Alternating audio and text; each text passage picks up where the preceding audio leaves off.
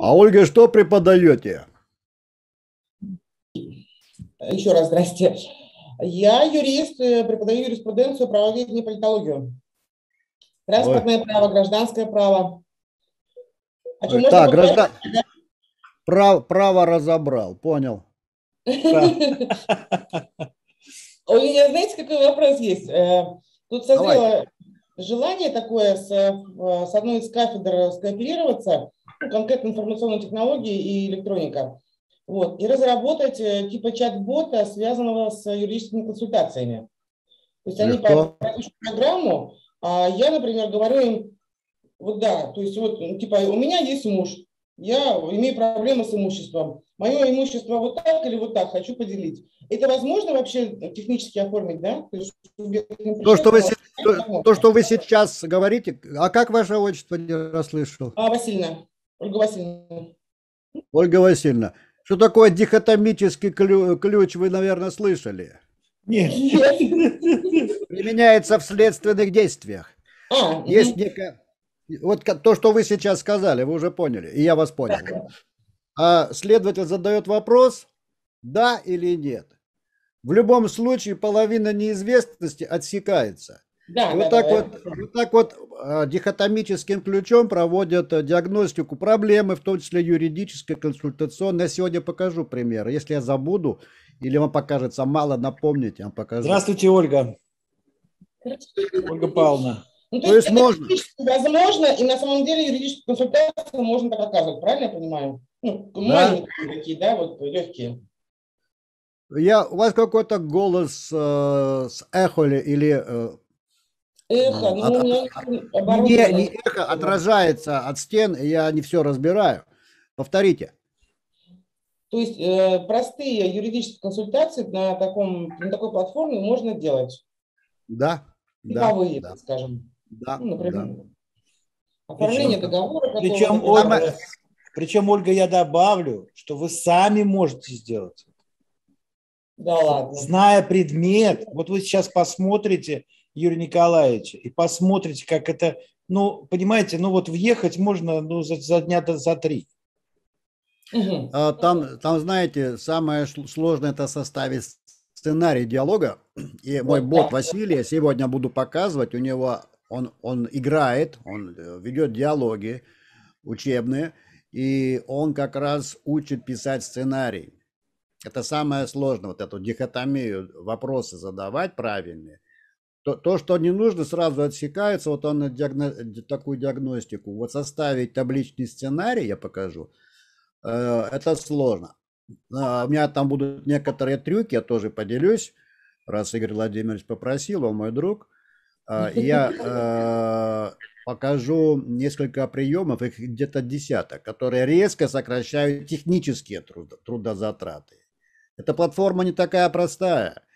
Э, э, там она обладает колоссальными возможностями. Она даже может распознавать голос собеседника, превращать его в текст, анализировать текст. То есть можно даже руками ничего не писать, и она будет э, вести диагностику.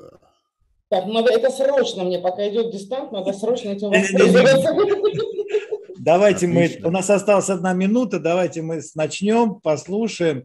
Юрий Николаевич очень коротко, быстренько вот расскажет да. про нашу Сколько? платформу. Еще одна да, минута еще и начинаем. Минута. Yeah, вот эти предварительные знакомства, они тоже очень полезны. Вот нам Ольга Павловна подключилась в служебной форме. Я видел, симпатично, красиво. Это, ну ладно, это форма ОРЖД, нас тоже всех заставляет, но я как-то вот председатель правкома, так мне, так мне можно без формы, а так у нас все тоже в форме ходит. Но я большую часть своей жизни тоже провел в форме. Начиная с 14 лет. Понятно. Ну что? училище? Ну что, давайте мы начнем, потому что уже 13.00. И, Юрий Николаевич, пожалуйста, начинайте демонстрацию.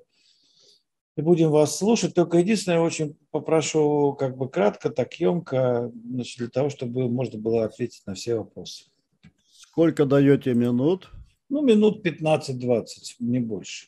Хорошо, спасибо. Вы мне подскажете по регламенту, хорошо, если Да, конечно, конечно. Добрый день, дорогие коллеги. Я Юрий Николаевич Белоножкин, президент Союза профессионалов дистанционного обучения. Хочу вам сегодня в этом кратком докладе а, изложить одну главную мысль. Верна ли гипотеза, что педагог может самостоятельно разрабатывать учебные чат-боты на бесплатной платформе в интересах снижения перегрузки она у всех есть, особенно в дистанте.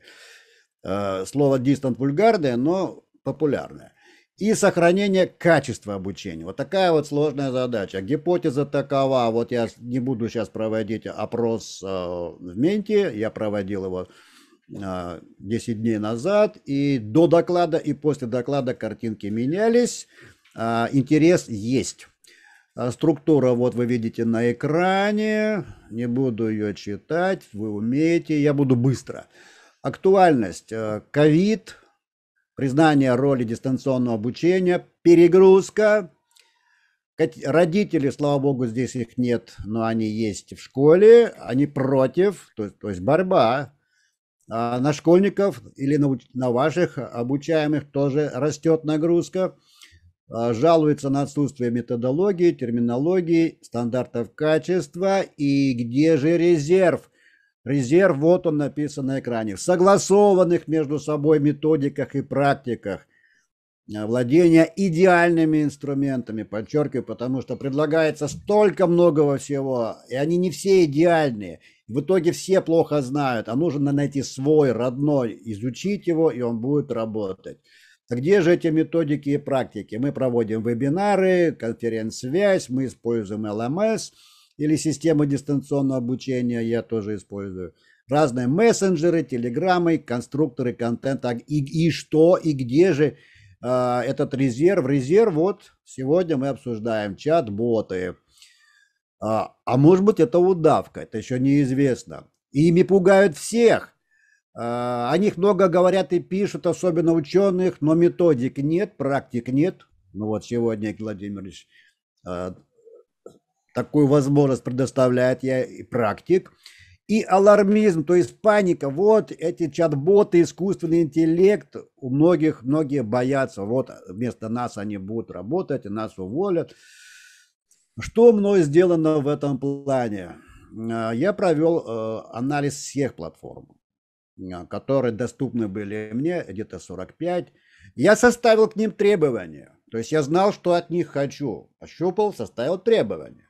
Я провел их свою собственную экспертную оценку, потому что я их изучил, отранжировал, провел апробацию и разработал собственные методические рекомендации, которые можно посмотреть по этой ссылке, они доступны. А, и все-таки мы не забываем главную мысль, это снижение нагрузки, и у всего хорошего есть всегда плохое. Делаю доклад, блески, нищета, а, цифровизации чат-ботов э, по, э, по Бальзаку. А, почему плюются на боты? Многие ими недовольны. Первая причина, они ошибаются, тупят. Сразу люди расстраиваются, уходят. Логические нелепости в диалогах отталкивают. А, э, сложность реализации естественного языка. Естественно, тот, на, на котором мы говорим. Но есть и блеск у них. Первое – это диалоги на основе правил. Вот мы чуть коснулись. Выбираешь варианты ответов, это на основе правил. Это не естественный язык, это язык следователя или доктора. Но иногда он нам полезен. И он резко сокращает трудозатраты при составлении чат-ботов. И массовость. А, а, много, множество задач можно передать круглосуточно, массово, неограниченному количеству людей. И там есть индивидуальный подход и обратная связь, и там полная учебная аналитика. Мы видим аналитику, на что они реагируют. И где же эта идеальная платформа? Это платформа Snatchbot. Snatch по-русски означает «хватки». А, она бесплатна, там есть платные сервисы, но они нам не потребуются. И там действительно есть функции искусственного интеллекта, но, скорее всего, они нам не потребуются. И я сейчас покажу проверку идеальности на примере игры зачем козе баян. Анализируйте, не соглашайтесь, не уходите от главной мысли и так начали. Все нормально, Игорь Владимирович? Да, все окей, нормально, все отлично. А я сейчас покажу моего бота Василия. А, вот он, мой бот Василий. Начну сначала. Это вариант бота Василия. Вот он так выглядит. Видите, я половину лица оставил свою, другую вот так вот.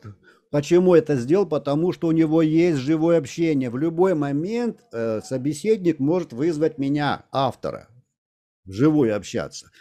А, ну, тут вы видите, хорошо видно на экране? Да-да-да, все хорошо, все отлично. Вот, так. А, и тут есть а, неуловимый Джо оценка качества, бот против Баяна, который выяснит, нужен ли педагогу бот как козе Баян. А, видите, какие я придумываю метафоры, образы, чтобы создавать игровые моменты. Блеск и нищета цифровизации а, в работе педагога. Как написать сценарий. Вот то, то, что вам надо, прежде чем лезть в конструкторскую часть, как написать сценарий. На дополнительное профессиональное образование, как посчитать время и деньги. Я сейчас готовлюсь к еще одному докладу на конференцию крупного университета. И Э, там организаторы хотят, и главная боль, где найти время и деньги на ДПУ. Вот этот бот будет мне помогать до и после вот этого моего доклада. Ну, какую хотите игру? Какой сценарий? Давайте Ольга Павловна, Ольга, давайте, вот что хотите, давайте, говорите. Ой, я давайте даже... на... Мне все интересно. Все интересно. Вот а, а, первую игру, которую я создал, бот против Баяна. Зачем педагогу бот, как козе Баян? Тут и сразу, видите, вот эти дихотомические варианты, они отсекают, что интересует этого человека. Конечно, это неестественная речь, а, но она позволяет имитировать э, диалог. Вот что он умеет, можно спросить, да. Много есть документация, но могу показать. Он может показывать видео, а, вот так вот, э, какие-то ролики. Это еще одна моя фишка, вот такие 3D-студии э, я умею делать, виртуальные, с облетом камерам. А, другие возможности, а, может показывать новости, какие-то выдирать самые последние новости и показывать человеку и так далее. Другие возможности хочу играть. То есть, видите, до игры э, неуловим э, бот против Баяна может еще и какие-то предварительные беседы провести. Давай. Вот такие картиночки можно вставлять, они создают настроение. А, обратим внимание, что это версия, которая не обращается по имени. Эта а, версия называется э, страничная. Ее, эту же игру можно смотреть, э, смотреть того же самого бота Василия, можно смотреть в телеграм-канале. Вот там он уже обращается по имени. И как только там происходит беседа, я как оператор э, вижу, что э, в реальном времени, где это, вот, я вижу всех собеседников. Вот Юрий Николаевич зашел, что-то говорил. Это я уже как автор и вы, как авторы, потенциально можете видеть, кто а, э, что говорит э, в настоящий момент. Э, вот такие вот возможности у этой платформы Snatchbot есть, прекрасные возможности. Даже Николай, можно послушать... Две, две минуты можно, да? Я вчера обучающимся, да, я вчера, да. Э, да, да, Ольга, будет э, запись.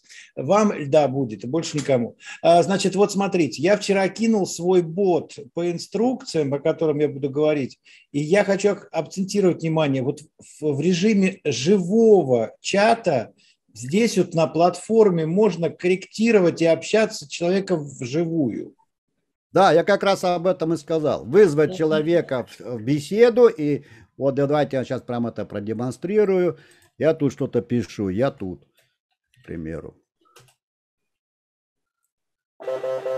Вот, я, вот он отвечает, где это? Где? Видите, я написал ему «я тут», и э, э, он увидел. Угу. Нет, да, давайте еще раз. Вот хочу живое общение – А если автор в онлайн, конечно, он должен быть в онлайн. Вот я вижу, э, что меня хотят услышать. Я пишу ему автор бота здесь, какой-то текст. И видите, собеседник в Telegram ведет с ним беседу уже вручную, то есть на естественном языке. Вот э, собеседник написал привет. Понятно, да? А, сам, саму игру я ввиду отсутствия времени не показываю, эту интригу оставляю вам, играйте с ним сколько хотите, можете мне писать, но он логичен, он убедителен, он э, э рассуждает логично. А, пожалуйста, играйте. Что еще можно сказать? Кроме этого можно э, этого же бота, в кавычках, э, прописать, дать ему квартиру в Фейсбуке, вот это тоже бесплатно. Вот WhatsApp там дорого. А так можно в Фейсбуке. Вот тот же самый бот Василий работает еще и здесь. А дальше, по сценариям, по сценариям. Вот такие вот а, ссылки на сценарий, только в виде исключения мое ноу-хау передам. Здесь есть терминология в этом сценарии, как работать с этой таблицей. То есть все методично, а, нормально, и риски тоже есть. Вот эти сценарии, бот против баяна. Вот прежде чем тыкаться на кнопочки, сначала я вот это прописываю. А вот это сценарий блеска нищета цифровизации. Теперь сам конструктор, наверное, Владимирович сам расскажет а, про работу с конструктором, но я хочу сказать, что в принципе тут не так уж все и страшно. А, он состоит, э, ну, когда мы создали имя, дали ему фотографию, там назвали, я сейчас не буду вдаваться в такие детали, сам конструктор состоит из взаимодействий, вот слева, вот эта колонка, видите, на экране рисую? Угу. Видно, да, да, да, да, видно, видно, видно, вот видно. Первый базовый Первый базовый термин – взаимодействие. Что это значит? Это значит, оно включает название, вот какая моя методическая конструкторская фишка. Они все имеют порядковые номера. Так быстрее потом делать привязки, когда делать связи между собой. А, смотришь э, в табличный сценарий, если это, пойди на 7,07. Э, а, вот это вот взаимодействие состоит из имени. В каждом взаимодействии есть сообщение, это то, что говорит бот. Вот, например, у этого взаимодействия под названием «Какая цель?» Вот такое сообщение пишет бот. А есть карточки, можно какую-то картинку ниже подставить, э, загрузить картинку. Это для э, ну, образности. Вот мои тут картинки, всякие разные, из разных сценариев. Это не обязательно. И третий пункт есть связи. А вот эти кнопочки под, под э, сообщением, которое видит собеседник человек. Угу. Даете, даете ему ответ и указываете, куда надо пойти. Если курсов много, то пойди на 7,02 с клавиатуры 7.02. Он раз нашел. Не буду показывать эти тоже технологические моменты, но вы должны понять, что вот эти три пункта под названием а, три базовых элемента логических и технологических. Взаимодействие, сообщение, что сообщает бот, и связи, куда идти в зависимости от ответа. Вот если вы это поймете, тогда можно, э, в принципе, это дальше технологически не рассказывать, а сразу направлять все силы на разработку сценария. Вот э, мы тут до начала встречи говорили про... Э, есть разные виды ботов. Самый интересный это диагностический врачи э, проводят диагностику, следователи, а, педагоги могут проводить диагностику или выяснение правды, что же происходит, и дать свои рекомендации. Так вот, дихотомический ключ, он используется в медицине, в следственных действиях, он всегда работает как? Есть некая ситуация проблемная, бот или следователь, или врач, или педагог задает вопрос, это так или нет? И после каждого ответа половину э, проблемы отбрасывает, там нет проблем. И начинает дальше копать в оставшейся части, в логической, содержательной, уточняет, что же за проблема. А, у тебя аппендицит, иди так. Э, вот рекомендация идеолога. А, у тебя там, э, ты не знаешь, как решать эту задачу. Посмотри этот фильм или почитай вот эту главу. Вот э, как, э, из чего состоит трудоемкость. На самом деле трудоемкость, вот я сейчас получил заказ, вы сейчас видите на экрану смету, э, хороший заказ, э, я его назвал Иван, бот, будет, это еще не готово, но я уже смету составил. Вам это важно. Есть иллюзия, что любой может сесть и создать что угодно. Не так все просто. Подготовленный, да, сможет, а вот так без подготовки нет. 16, а, 16 а, а, тем или уроков. В каждом уроке диалоги уже подготовлены на этом языке. Вот их темы. И трудозатраты. Вот я посчитал, мои трудозатраты на диалог, состоящий где-то из 5-6 фраз, то есть маленький диалог, ну или там, допустим, э, запомнить 10 э, национальностей мира, говорит человек, называет, что он там русский или американец, а обучаемый должен понять, а, что у него за нация, и голосом ответить «американец». Вот, проверяет, говорит, правильно, это американец. Следующая нация. Так вот, такие вот а, диалоги а, требуют у меня, например, 45 минут. Если я введу а, другое число, то будут другие цифры. Видите, вот такой создал калькулятор а, для себя. Да, да, да. А, да, замечательно. И сумма получается, сумма получается приличная. Причем я тут даю скидки бешеные, вон 45%, мой час стоит 3 500. Но в данном случае мне было интересно, я дал колоссальную скидку. А, и все равно суммы большие вылазят по трудозатратам. Вот это все вот. Да, Игорь Владимирович. Да, вы знаете, на самом деле замечательная вещь. Я хотел спросить еще, вот, ну, тут все понятно. Э, значит, э, по работе, э, вот именно по работе, куда мы, что мы можем интегрировать, куда мы можем интегрировать этот бот, то, что мы в Facebook можем интегрировать однозначно отлично. Я так понял, что с Instagram все плохо, а, значит, ВК, что у нас там с ВК? Не пробовали вы, не, не думали об этом? А, ВК, по-моему, нету, но не буду врать. Вот эти каналы, где его можно... Да, да, ну там нет просто в кавычках. ВК, да, да. А в кавычках а, вот этот э, список, куда можно его да, не куда, интегрировать. Да, куда можно интегрировать.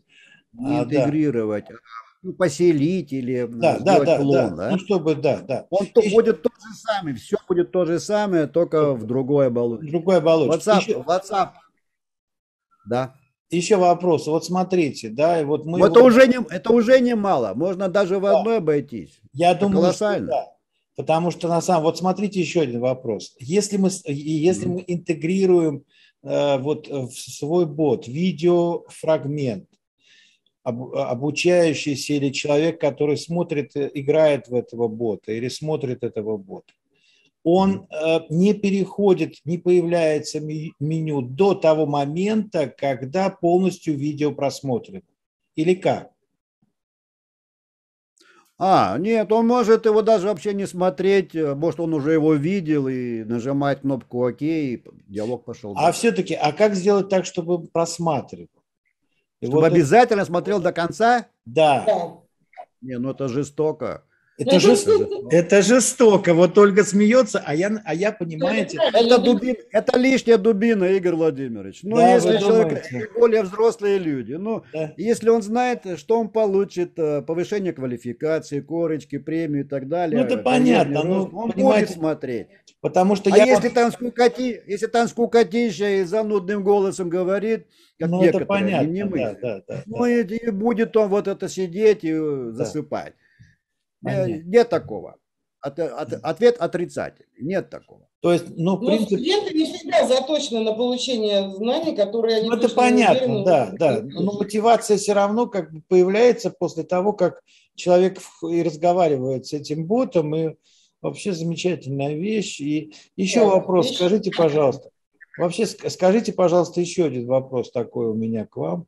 А, вот с Телеграмом, понятно. То есть Телеграм – это отдельный диалог. Это не как э, в Фейсбуке прям э, в беседу встроен чат-бот. Вот, э, вот он работает в Фейсбуке. Он, так, он, вот он работает. Да, вот у меня, например, Он, он, как, как будто он встроился в диалог, то есть он на страницу встроился. Прям э, те, кто захочет э, на странице поговорить со мной, то все, значит, нажимают и разговаривают. Ну вот так, да, как у вас вот здесь. У меня тоже он встроился. Да. А Видите, вот- у него есть мессенджер, у него есть а, в- э, на какой-то странице да, да, можно да, да. вести, да. А, у него это Facebook, у него есть нас э, просто э, на странице без никаких Фейсбуков и Телеграмов. Вот он просто работает, а, ведет диалог. И в Телеграм. Ну зачем столько много? Уже уже и так. А, Я же как и скажу, что не у всех даже Телеграм есть. Ну, Вот понятно, чё. понятно, понятно. Ну, понятно. Слушайте, а вот этот вот, как, это же вот вы сейчас показывали по поводу того, что это просто в браузере, в любом открывается, да? То есть тот, который по И на умолчанию- смартфоне. Да, и на смартфоне тоже. Я проверяю. Я все проверяю, сам себя Да, контролирую. конечно. Он и на смартфоне то есть- работает. то есть, если все равно на ссылку нажимают люди, то он открывается в том в браузере, который удобно обучающемуся или человеку. Да. То есть он Ничего открывает... его- скачивать. Ничего Открывает. скачивать не надо. Да, ничего работает. скачивать Вот не нужно. Плюс к этому еще можно сделать кнопочку, и он может вам позвонить или что, или написать что-то. То есть Он на вашу может, личную он может, почту. Да, он может нажать вот сюда, по мне письмо написать, вот ссылочка на это письмо, и может э, вызвать человека, и я ему... можно настраиваемую кнопочку сделать, да? Я м, добавляю, э, добавляю, вот уже интерфейс, я вижу, кто находится, э, с кем, кто меня хочет слышать. Я добавляю кнопочку «Вызвать автора», Ну да, да. или мне, или мне нужен человек, если он нажимает, и один из, там есть разные виды взаимодействия, обычно Да, это текстовые, да, а есть именно для переписки. А Для переписки вызвать эм, человека, и Ага. человек отвечает, если он там. Причем, если человек не отвечает в течение 60 секунд, ну, например, он на, на обеде а, или спит, а, то бот автоматически выходит из режима беседы и дальше продолжает беседовать уже сам. Вот так. Да, да, да. Я, я, я помню эту функцию. И, кстати, вот недавно совершенно, вчера в Фейсбуке как раз вот в личной переписке девушка из Казахстана начала переписываться. Смотрю, значит, вот мне приходит, э, что начался живой чат. Я тут, значит, через пять минут присоединился, и мы очень даже хорошо поговорили. Ох, время заканчивается. 10 минут осталось почему-то нам. Но, тем не менее, давайте. Ну, мы раньше начали, э, мы не уходим, просто еще раз зайдем Да, по ссылке пере- да, через 10 снова минут мы просто пере- перезагрузка у нас будет. Я называю это, это Да, так. Таким выйдем и снова зайдем по той Да, же самой да. ссылке. Ничего страшного. Оль, есть какие-то А, вот- вопросы? вот это, это называется гибридность э, человека-машина. Вот, два вот. Это очень редкий вид платформы. Вот этот Snatchbot, я думал голландская, оказалась израильская. Ну просто интересно, э, лучшая в мире платформа. У нее аналитики пишут, она входит в 11 самых лучших, но у нее только один минус – это сложность. Но зато сложность дает функционал. А, Ни, ни одна платформа не делает гибридность. Хотел с человеком, хотел то. Вот этой гибридности почти ни у кого нет. Или она платная. Вот индусы сделали а, интеграцию с Dialogflow. А, 40 долларов в месяц немножко кусается. А это бесплатно. Бесплатно. То есть я вам на блюдечке сделал все подарки и жду от вас э, каверзные вопросы про нищету чат-ботов. А, У меня не про нищету, у меня про возможность его применить в учебном процессе. Вот смотрите, Легко. можно вот, да, запрограммировать таким образом, что одну тему можно практически изучить без моего участия. Это надо обследовать. Я называю э, передачу боту грязной работы педагога. То есть самую рутинную, самую неблагодарную, которая пожирает время от творческих каких-то интересных, там, написания книг, подготовка каких-то деловых Ой. игр. Вот грязную работу. Но живое общение э, и решающая роль, на мой взгляд, остается всегда за педагогом, за человеком. Какая грязная работа? Проверка ВК, э, подготовка ВКР, э, курсовых, лабораторных там, и так далее. А, одни и те же ляпы делают, пожирают время, возвращаешь назад, он снова э, пересылает тебе какую-то недоделку. Что еще? Вот диагностика по, каким-то наиболее частым проблемам. Вот в игре Козе Баян он начинает, есть у вас типовые рутинные работы? Если человек говорит, нет, у меня все хорошо, вам бот не нужен, он говорит. Ну зачем вам этим заниматься? Вот когда рутина, не хватает времени на э, работу, семью, отдых, вот тогда, пожалуйста. Еще вопрос.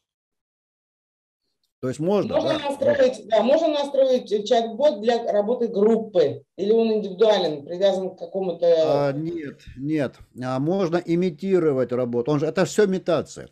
Он может имитировать, а, вот как у меня в игре "Блеск и нищета" а, цифровизации а, в работе педагога. Там я ввожу персонажей. Как раз из а, произведения Баль, Бальзака блеск и нищета куртизанок, взял вот эти имена, Эстер, там еще и прочее.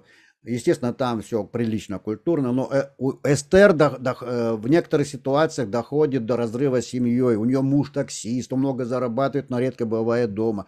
У нее трое детей. Тут она появляется в эту цифровизацию. А в итоге у нее нервный срыв, и она уходит. В другом сценарии она все-таки поверила, э, поговорила с одним экспертом, с другим. И она подала заявку на конкурс онлайн-курсов и выиграла, получила миллион рублей.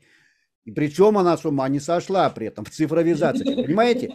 А, и вот эти вот персонажи, э, виртуальные персонажи, они с образами, с картиночками, они начинают там подзуживать, сомневаться. Ну, как классический сценарий кино. Герой, антигерой и сомневающиеся, которые все время колеблются, ни рыба, а, ни мясо. Да, вот как раз Юрий Николаевич.